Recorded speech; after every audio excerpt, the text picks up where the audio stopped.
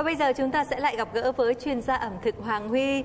Anh Huy này vừa nãy Huyền có giới thiệu là món ngon với lại sake nhưng mà Ừ. cụ thể tên món là gì anh ha? Ừ, tên nó là nghe rất là quen thuộc nhưng mà đối với người nào chưa từng nghe bao giờ rất là lạ cái kêu là sake nấu kiểm Sake nấu kiểm. Kiểm, Thế ừ. thì với Huyền là lạ rồi đó. Ừ. Huyền chưa nghe bao giờ và chưa ăn bao giờ luôn. Ừ, thực ra nấu kiểm là một loại nấu với nước cốt dừa À. mình là dùng cái là nước dừa nhão rồi về nước cốt dừa nữa mình Dạ. nấu ra Sake còn có tên gọi là cây bánh mì, là một loại cây đặc thù ở miền Tây Nam Bộ. Trái sake có hình quả trứng, lớn cỡ miệng tô, vỏ màu xanh, có nhiều gai như gai mít, không có hạt, cơm thịt màu trắng. Theo phân tích, trái sake có chứa 25% tinh bột, 3% protein, 0,5% lipid và có nhiều chất bổ khác như vitamin C, kali, kẽm, thiamin. Không những trái sake bổ dưỡng mà cây sake cũng lắm hữu dụng. Theo đông y, rễ sake có tính làm dịu, trị ho, vỏ sake có tác dụng sát trùng, lá sake có công dụng tiêu viêm, tiêu độc, lợi tiểu. Dạ. là anh sẽ giới thiệu sơ qua nguyên liệu ha Dạ. đầu tiên là em phải có một nồi nước dừa nhão bên này là nước cốt dừa Dạ. ở đây là ít cơm dừa À. bông kim châm có bột khoai nè nấm mèo nè Dạ. sake Ừ. có bí rợ Khoai lang. chuối sáp bước phía mình á đậu đũa Đậu đũa. đậu phụng táo tàu và gừng Đầu Đầu tiên mình sẽ làm gì anh ha? đây đầu tiên mình sẽ đổ nước nước dừa nhão vào đây Có cần nhiều không anh? à, mình tùy theo độ người mình dùng hai người mình nấu ra hai người mà 10 người nấu ra 10 người Dạ. hôm nay anh thì chỉ nấu một tô thôi Dạ. À, anh sẽ cắt cái ờ, khoai dạ. lang trước Khoai thì mình sẽ chọn loại khoai nào thì sẽ ngon em có nhất loại anh? chọn loại khoai nó sáp nó Khoai béo sáp. ờ, nó, ngon, Ờ. nó ngon hơn Khoai mình sẽ cho vào đầu tiên này. đúng rồi đây em cho khoai vô đây Dạ. à. Nhưng mà Huyền cứ đứng Huyền nhìn anh không có hay lắm đâu. anh Huyền sẽ cắt làm. cho, cho em nè nè Dạ. Cắt cho anh Bây giờ Huyền cắt miếng như vậy Nè, luôn phải không anh? đúng rồi đây cắt miếng thứ ba vuông mình cắt thôi Dạ. À, Cắt tiếp cái gì anh ha? em cắt chuối cho anh đi Chuối ha, À, lột vỏ này.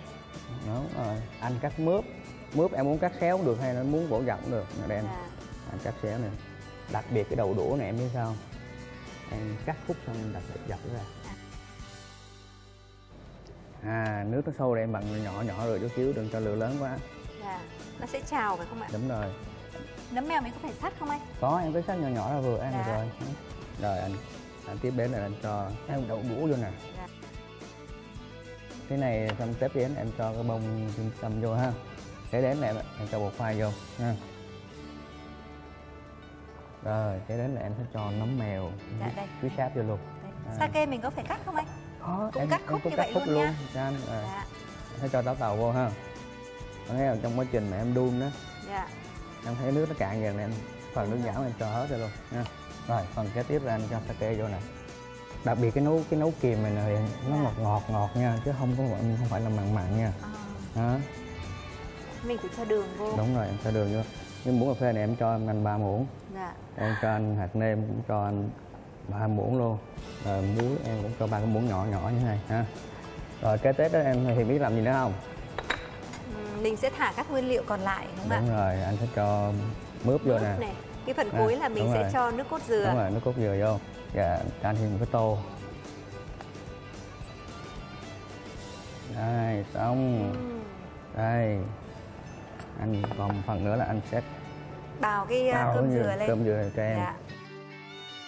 Bây giờ còn một cái à, điều quan trọng nhất mà như anh nói đó là thưởng thức thưởng thức và nhận Rồi. xét. Cái đấy là việc Ok. của Huyền. Ừ. Bây giờ mình đi ha. Rồi.